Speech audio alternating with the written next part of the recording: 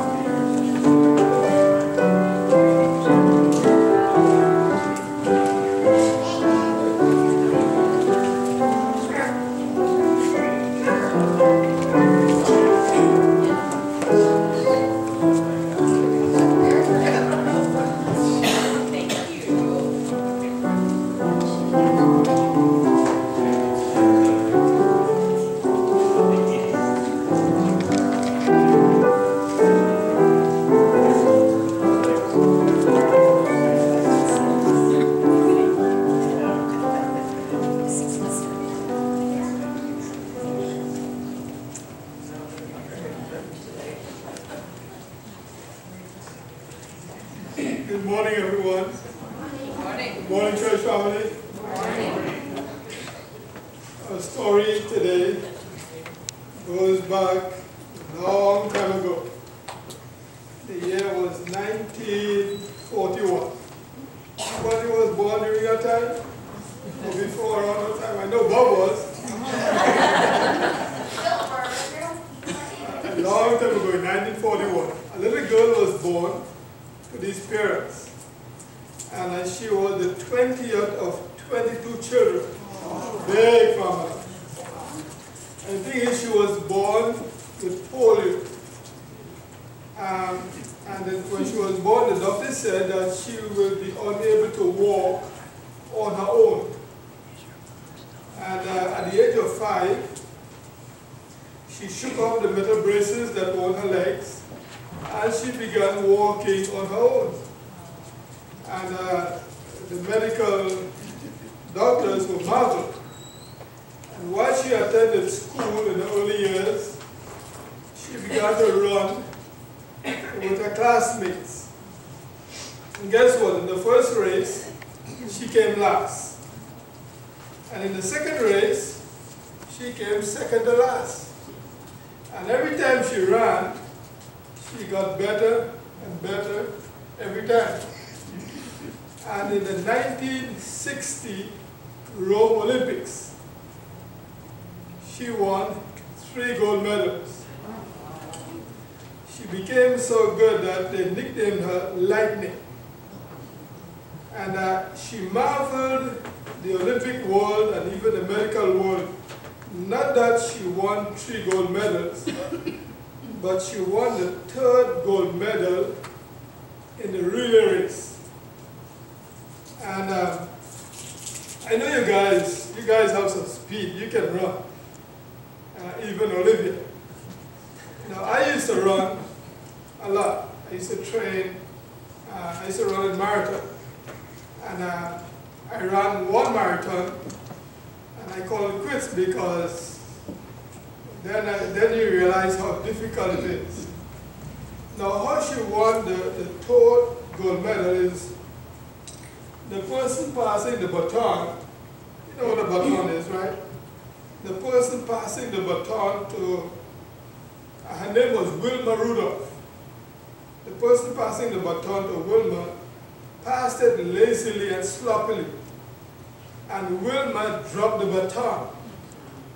Now when you drop the baton, that's precious time being lost. And somehow Wilma was able to, with 10 seconds to the finish line, she was able to pick up the baton and with all the energy she could muster from her legs, she went on to win the relay race. Now, I love running. I, I love looking at the Olympics. But my favorite looking at is, is the relay race. Now, in a relay race, it's not necessarily for the fastest runners. The pivotal moment in a relay race is when you're passing the baton. it must be passed with precision, with exactness at the right timing.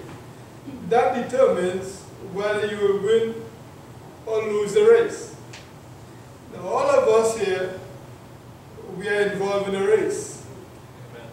And um, this race is not for the swift.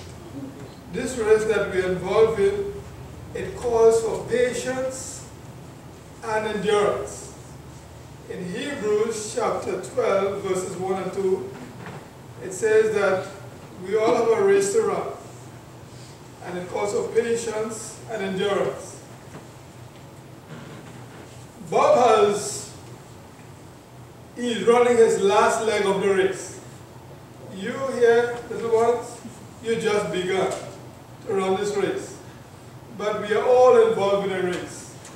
And be, there'll come a time when we have to pass on the baton, our legacy, to someone else.